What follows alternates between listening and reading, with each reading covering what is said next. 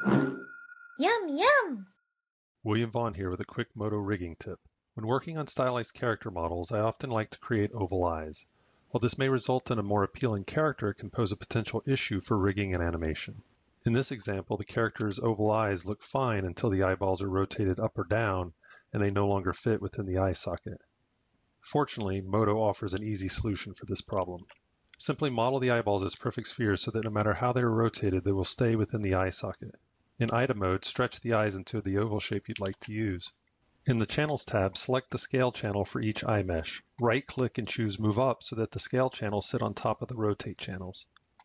The order of operations work from bottom to top, so the rotation will take place before the scaling happens.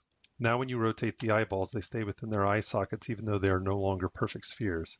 Oh, look at the time.